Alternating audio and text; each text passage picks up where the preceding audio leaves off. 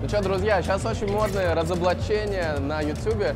Каждый разоблачает друг друга, там что-то какая-то вакханалия творится. Ну и мы тоже будем разоблачать потихоньку. Одно разоблачение, конечно же, в тренде сейчас Дима Портнягин, разоблачение трансформатора. Мы на самой крупной выставке спортивной одежды в России, SN Pro 2018. И здесь один из тех людей, кто размещал рекламу у Димона, его зовут Антон, компания Design for Fitness. Спросим у него, реально ли работает или не работает реклама у Димы Портнягина. Второе, наш очень крутой, мощный челлендж с Оскаром Хартманом, с Игорем Войтенко, с Алексеем Столяровым. Мы делали греблю. Посмотрите, смог ли я грести быстрее, чем Оскар, или грести чем- быстрее, чем Игорь Войтенко. Увидите в этом выпуске. Короче, смотрите до самого конца. В конце будет охренительный еще розыгрыш. Вы сможете выиграть крутые призы. Так что давайте, ставьте лайки, пишите комментарии и погнали. Сейчас будет тотальное разоблачение Портнягина. По Диме, расскажи, все же знают, что реклама не работает. Почему ты сделал это два раза? Меня там что-то кинул на полтора, полтора миллиона, да. Что ты рекомендуешь делать людям, которые размещают рекламу, и чтобы потом не было хейта? Если вы хотите продать какой-то свой бизнес, то, соответственно, да, да, должен быть бизнес-канал. Это может не совпадение быть целевой аудитории. Выпуски будут называться «Рекорды Оскара и пацаны».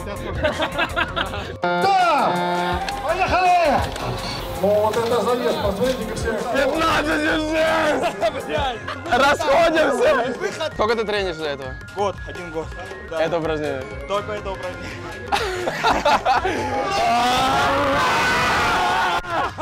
Так,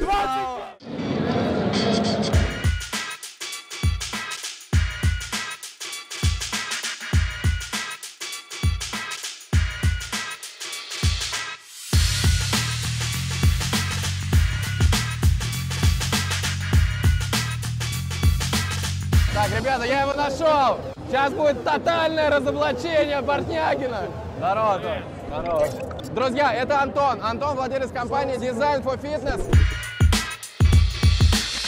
Мы находимся на выставке Pro. Это самая крупная, мне кажется, на территории СНГ выставка, посвященная спорту. То есть здесь спортсмены, спортивная одежда, спортивное питание. И ты выставляешься здесь своей компанией. Что за компания, чем занимаетесь? Мы производим спортивную одежду, производим ее сами, импортируем ткани из Италии э, и продаем ее. То есть сначала мы просто продавали в онлайне. Потом э, начали к нам обращаться люди, давайте будем вашими представителями. И мы так э, за первый год открыли порядка 100 представителей, сейчас у нас более 180 точек продаж, но это все включая шоурумы. Сегодня у нас 47 магазинов в 12 странах. А что по цифрам?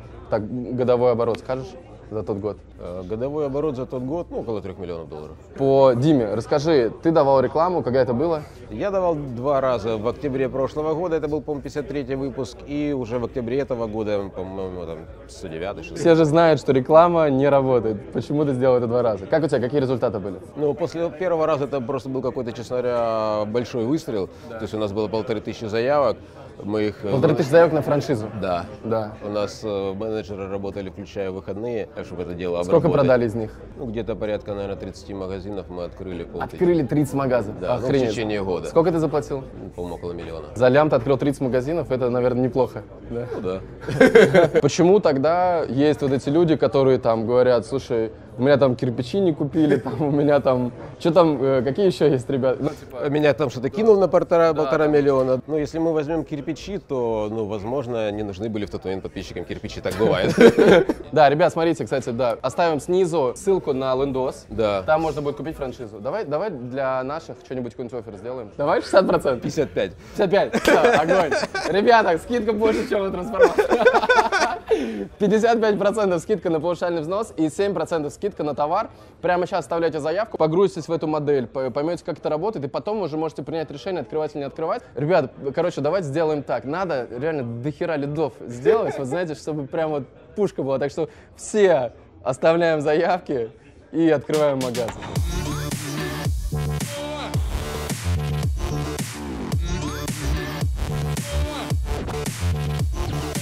Yo, guys, воскресенье, 10 утра.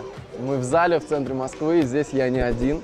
Здесь 4 олимпийских чемпиона и 4 чемпиона по Ютубу. Те, у кого 500, миллион, полтора миллиона подписчиков, это охрененная компания для того, чтобы сегодня поставить личный рекорд каждого из нас. У Оскара Хартмана я увидел, что он набирает э, такую банду по гребле. Я вообще не знаю, что такое гребля, потому что я никогда в жизни не греб, я никогда не пробовал. У меня даже в зале нет такого тренажера. У нас сегодня будет три дистанции. 100 метров, 200 метров и 500 метров. И эти три дистанции нам нужно будет сражаться на максимальную скорость. Зачем я, я принял этот вызов? Я понимаю, что здесь я точно не буду первым, потому что здесь Оскар готовился год к этой дистанции. Все остальные э, это реально олимпийские чемпионы, те, кто занимается спортом всю жизнь. В первую очередь я хочу провести круто время в компании мощных людей. Второе, я хочу посмотреть, какой у меня сейчас реальный фактический результат. И третье, это поставить свой личный рекорд, потому что я знаю, что в окружении таких людей делаются самые большие вещи. Так что давайте, друзья, посмотрим, как это будет, что получится, вообще дотяну ли я.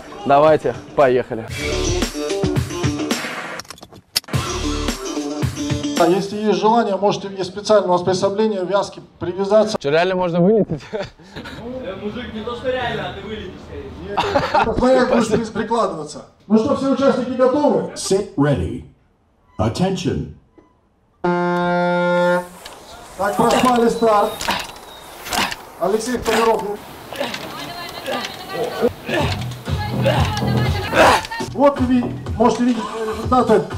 Бля, ребята, если, если это была сотка, То на разбирайтесь. 500 можно будет упахаться 100%, это реально жестко. Я занял третье место. Тоже советую, вы можете 0,3 секунды меня отделил от топора, который на первом, на втором Игорь Рыбаков. Ну вот это завес, посмотрите, как все плотно, плотно. 15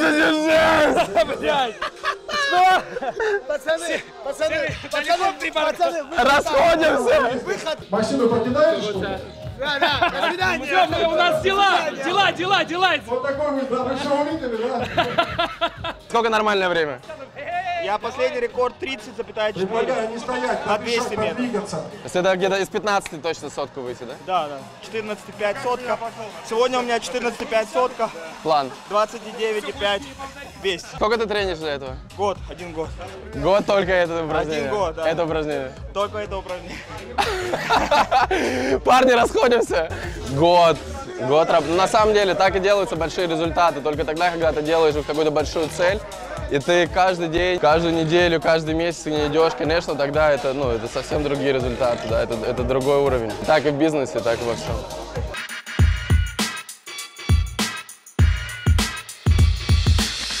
Недорого. Маленькие размеры есть. Да, конечно. У вас какой? Сам маленький XS. Да, черные? Черные, самые маленькие нужны перчатки. Когда есть возможность продать, не могу это не сделать.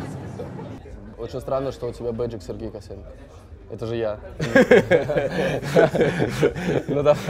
Какие есть минусы, какие вот, на что нужно обратить внимание человеку, который хочет открыть магазин сейчас? Ну, первая сложность, с которой люди всегда сталкиваются, это найти место в торговом центре. Его просто может не быть, и, скорее всего, не будет в хорошем торговом центре, то есть нужно подождать. И вторая сложность, нужно понимать в сознании, что да, бизнес по франшизе довольно простой, с точки зрения того, что мы говорим, что делать. То есть до вас десятки людей прошли этот путь, но тем не менее надо работать. То есть локальный маркетинг очень важен, этим нужно заниматься. Мы говорим как, но, но там есть чем делать. Мы даже вот, э, когда были в Америке, обратили, там есть вот реально крутой наш конкурент в Америке, Люля Лимон. В их магазинах вот просто висят фотографии, допустим, местных тренеров в их одежде. Вообще, ребят, это крутая тема не только для франшизы, да, не только конкретно для, для этих магазинов, но и вообще, если у вас есть бизнес какой-то локальный в своем городе, пусть он даже, я не знаю, автосервис там или ну что угодно, маленький бизнес, то э, круто, когда местные лидеры мнений говорят о том, что это хорошо. Круто, возьмите на вооружение, обязательно примените в своем бизнесе в каком. Что ты рекомендуешь делать людям, которые размещают рекламу, чтобы это было максимально эффективно и чтобы потом не было хейта и вот это вот хайпа Ну, мне кажется, во-первых, это должна быть э, канал с целевой аудиторией. Если вы хотите продать какой-то свой бизнес, то, соответственно, да, да, должен быть бизнес-канал. Это может не совпадение быть целевой аудиторией. Это первое. Но второе, к- какой-то лендинг должен быть. Они должны как-то перейти на, и купить этот товар. Как ты считаешь, вот эта ниша одежды, почему она перспективна или, может быть, она, по-твоему, не перспективна? Она как раз очень перспективна. Мы даже там смотрели мировую аналитику. Спортивный ритейл растет, потому что есть хайп во всем мире на спортивный образ жизни. Ну, как бы не случайно есть известная компания Victoria's Secret, которая выделила спорт в отдельный бренд Victo- Victoria Sport буквально в прошлом году. То есть это о многом говорит. Ваши конкретно вещи, в чем их уникальность? Несколько. Во-первых, э, то есть абсолютно оригинальные принты для нас делают дизайнеры, абсолютно уникальные лекала, которые мы разработали. Разрабатываем, там, тестируем на, спорт- на Свое спортсменах. Да, конечно, на свое производство. Качество очень высокое, потому что мы импортируем ткани из Италии. Мы не шьем ничего в Китае, мы не импортируем ничего из Китая. У нас есть э, бейдж такой Lycra Sport. Мы реально единственные производители в СНГ, которые от компании Lycra получили право э, размещать э, эту бирку на продукции. Есть ли смысл открывать такой магазин в городе там 200 тысяч, 300 тысяч населения или крупные города? Как ты думаешь? У нас есть магазины и в городах и по 200, и по 300 тысяч. Надо смотреть как бы город, как бы его вовлеченность, там, уровень доходов, количество спортивных центров. У нас же не только есть система монобрендовых магазинов. У нас есть, ну их там мало буквально, там 3-4, но тем не менее... Стрит-ритейл. Совершенно верно. То есть у нас есть там простое требование, там красная линия, фасадный вход, фасадные витрины. У вас там город может на 100 тысяч человек, вы можете открыть шоурум. По, по шоурумам мы не, не ставим никаких требований. Окей, открывайте, он даже может быть мультибрендовый. Скажи, реально, в твоем бизнесе была ли жопа, вот когда ты прям думал, что надо закрываться там, ну или на грани был? Ну, такой прям жопы не было. Но да, были какие-то ошибки, были сложности. А что было, это когда мы не успевали производить. Когда был всплеск открытия магазинов, мы были к этому не готовы. Это как раз после рекламы? Ну, на самом деле, да.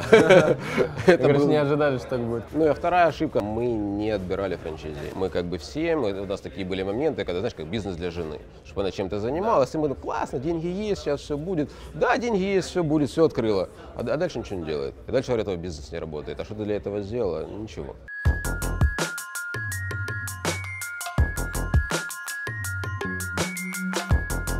Да, 200 метров, напоминаю, 200 метров. Приготовились? Sit ready. Attention. Да! Поехали!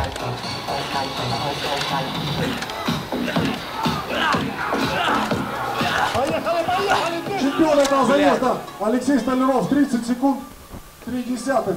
Прекрасный результат. Сережа Косенко, отдельный респект. Он человек практически не тренируется и показывает результаты на уровне с атлетами. Просто за счет, Не, я не практически, я не тренируюсь. просто за счет воли. Представляете, какая воля у человека. Он садится, берет и делает. Вот. Макс, Макс умеет это, как это, приободрить. Лучше, что вы можете сделать, это прийти туда, где вы последний. То есть, как- как- когда вы последний в комнате, вам очень легко стать средним. осталась, Когда вы средний, вам очень сложно быть первым. Потому что примерно все уже на одном уровне. Поэтому идите всегда туда, где люди гораздо сильнее вас. Сейчас посмотрим на парней. Sit ready. Attention.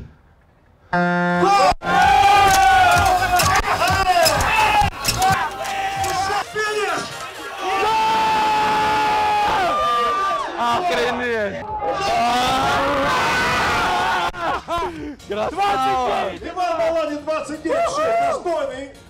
Ну, когда вокруг тебя столько энергии, мне кажется, она объединяется в какой-то комок. 10 мозгов. Так что спасибо, ребята. Это реально просто. Это работает. Я не знаю, как это работает. Но это работает. Супер, спасибо, поздравления Оскару и всем участникам с сильными рекордами. Оп! Берем, берем, берем, берем. Награждение отвечает, ребята, у нас еще 100 и 500 метров. Выпуски будут называться 432, «Рекорды. Оскара и пацаны».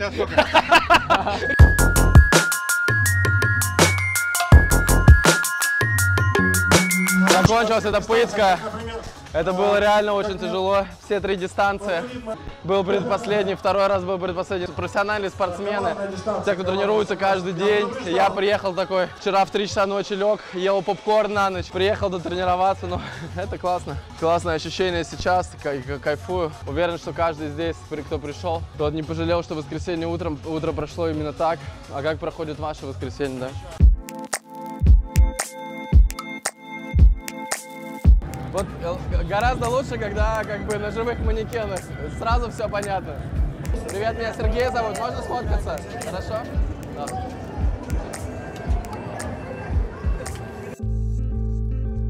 Напишите в комментариях какой-то клевый вопрос для Антона по спорту, по питанию, по здоровому образу жизни. Антон в этой теме 100% шарит. За самый оригинальный, самый интересный вопрос вы получите 5 комплектов форм. Парни, кстати, тоже пишите, подарите вашим девушкам, они будут довольны. Давайте, пишите в комментах прямо сейчас. Спасибо, пока. Bye.